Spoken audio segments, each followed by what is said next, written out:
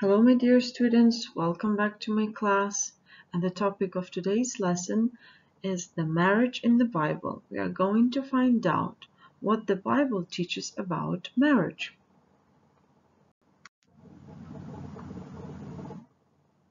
The very first thing we should know about um, the marriage in the Bible is that the Bible says that marriage was created by God and it was good.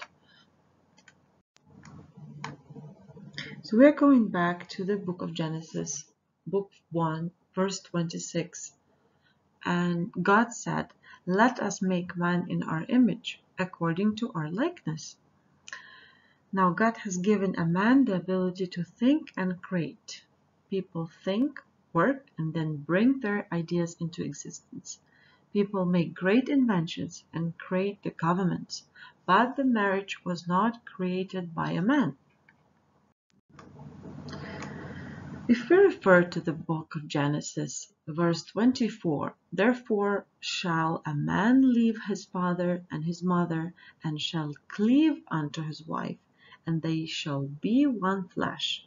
It's obvious that the Bible teaches that marriage existed as a principle at the very beginning of the creation. And it's obvious that the God is actually the author of the marriage. And it also says that marriage is good. Everything God has created is good. The Bible also teaches that a man and a woman who get married in the church should be Christians. The Bible clearly says that the marriage can only exist between one man and one woman. Marriage bonds a man and a woman. The moment a man leaves his mother and father in order to join his wife, they become committed to each other. That's why we usually call marriage one of the greatest steps in our lives because it's a commitment.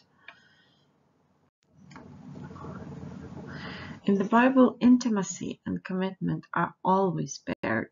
That's why premarital intimate relationships without commitment uh, is wrong and considered as a sin. The Bible teaches that marriage is a symbolic representation of the relationships between Christ and the church. The husband represents Christ and the wife represents the church.